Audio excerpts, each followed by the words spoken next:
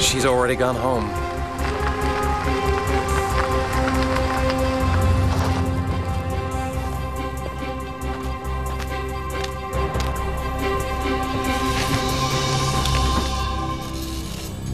Xiang?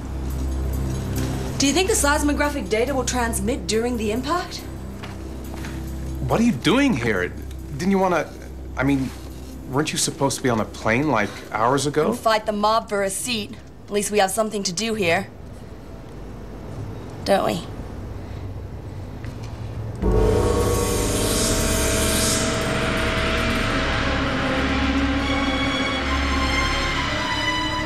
Elsewhere, chaos. Evacuation plans work fine in theory. In real disasters, few reach safety. As law breaks down, it's every man for himself.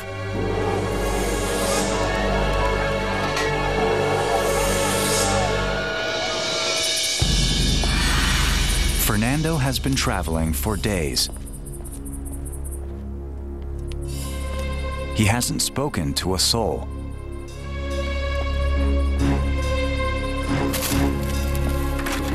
Still trying to reach his family, still unaware of his peril.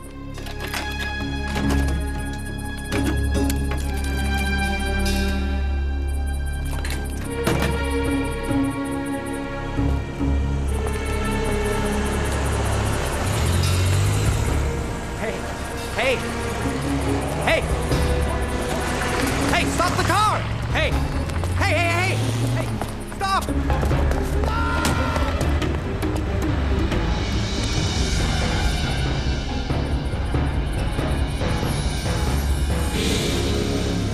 comet is 3 million miles from Earth, 24 hours to impact. New York City lies more than 1,500 miles from the impact zone, yet only 33 feet above sea level. Fearing a tidal wave from the comet impact, inhabitants have fled inland. Dr. Sattler studies the psychology of preparing for disasters, tsunamis, earthquakes, and hurricanes. As Hurricane Emily was making a direct threat on Charleston, South Carolina, I went out and interviewed people and asked them what were they doing to prepare.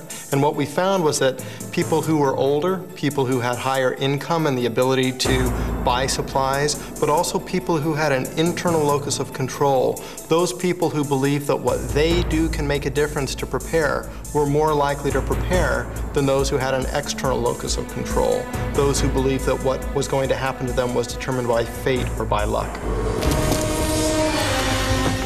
Rich or poor, everyone's now in the same boat. Money can't buy safety. Come on, please, let me, Last one. All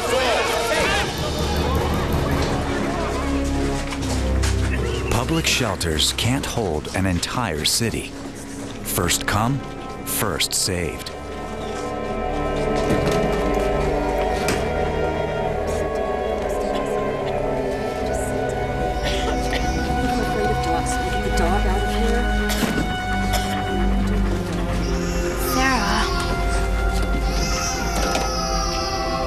Some arrive with just the clothes on their back.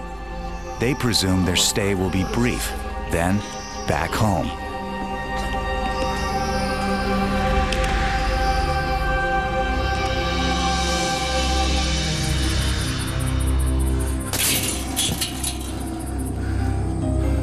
Only hours to impact.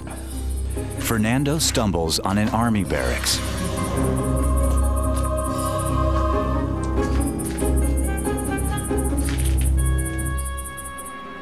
Hey! Is anyone there?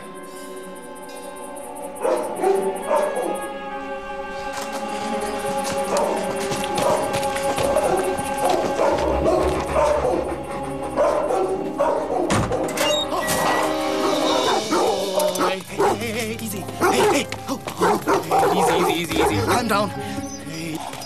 Come on. Everybody's gone. And they left you to starve?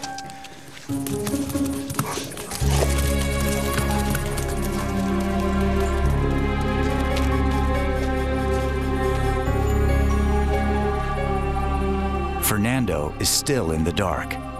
No clue why the barracks is abandoned, and no idea it lies 500 miles from the point of impact, well in the danger zone.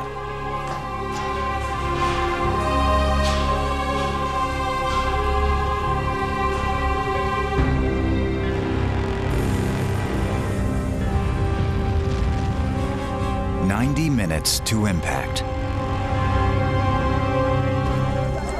Others too remain clueless.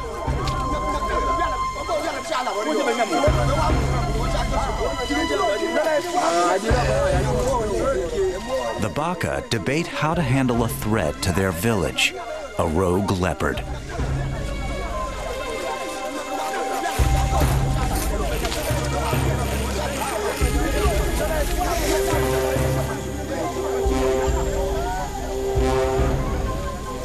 Will soon face a more dire threat from a catastrophe an ocean away.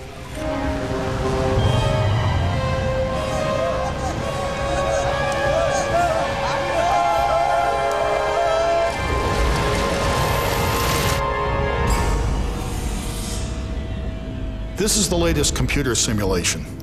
It shows that when the projectile strikes, it doesn't much matter whether it strikes on land or in the ocean. It heats the ground tremendously, just like a, a super bicycle pump that you've pumped up. The, the temperature gets up to 100,000 degrees. After it reaches this temperature, it expands out at high speed and throws material out several times the Earth's radius into space.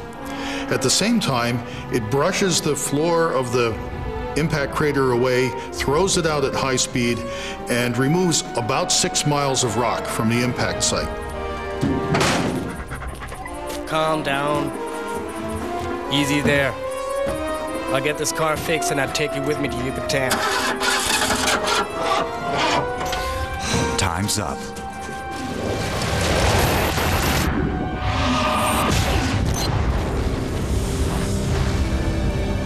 The blast equals 100 million megatons of TNT.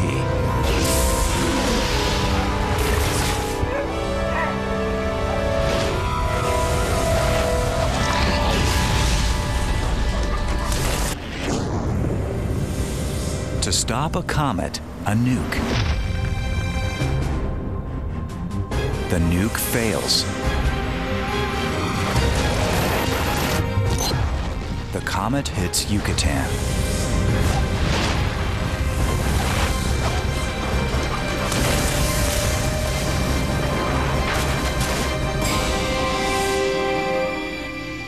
The crater at this stage is about 60 miles in diameter, and it's lined with partly vaporized and even melted rock. At this stage, the crater begins to collapse under gravity. The floor rises, the adjacent terrain collapses into the cavity, and we're left with a, a lake of lava 100 miles in diameter. It only takes a couple of seconds for these enormous temperatures to cause an expanding fireball. This fireball is hot, initially 10 times hotter than the surface of the sun.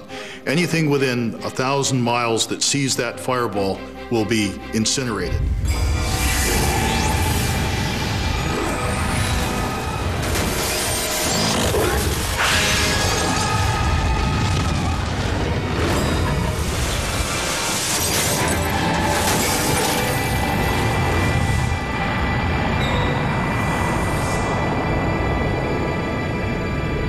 Houston is gone.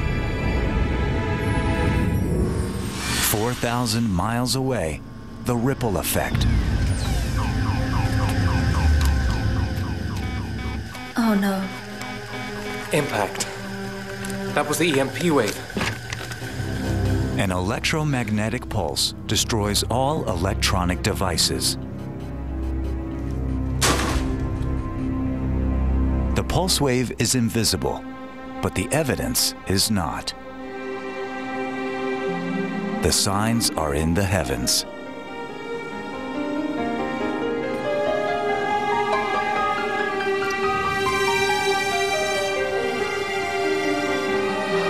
Electrically charged particles create effects like the northern lights.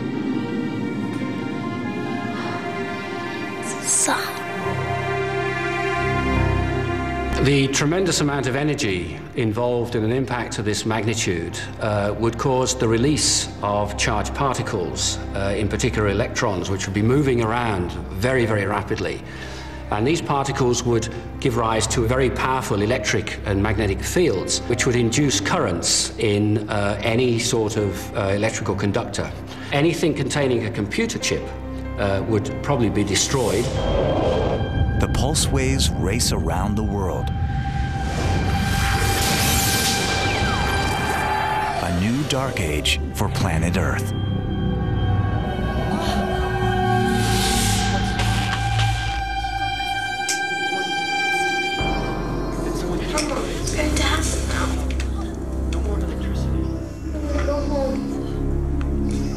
Soon,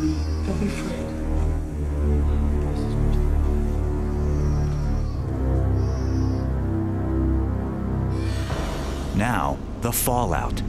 A cloud of dust and ash. Hey, Sean! Come look at this!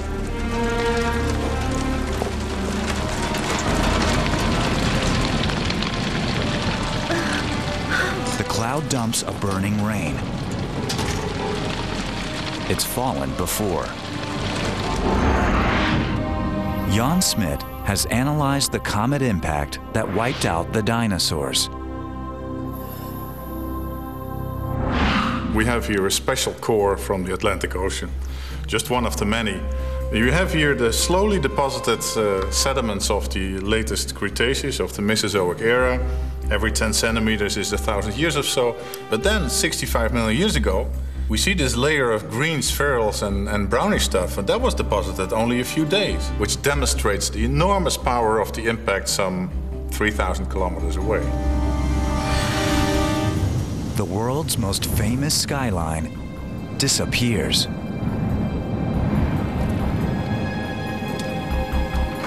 The homeless have it all to themselves. Soon, they'll be gone too. The fallout has just begun.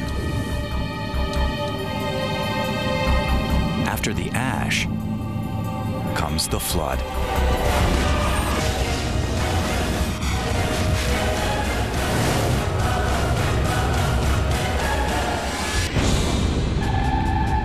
An earthbound comet. A direct hit. The impact ripples round the world. The comet slams into the Gulf of Mexico. It triggers a tidal wave 3,000 feet high, more than twice as tall as the Empire State Building. This initial wave immediately breaks down to 30 to 50 meter and loses more height when it runs into deeper water, but it conserves its energy. Dr. Weiss is a geophysicist who studies tsunamis for the National Oceanic and Atmospheric Administration. The wave height goes down in deeper water, but it created a longer wavelength. And this wavelength travels to the coast. The tsunami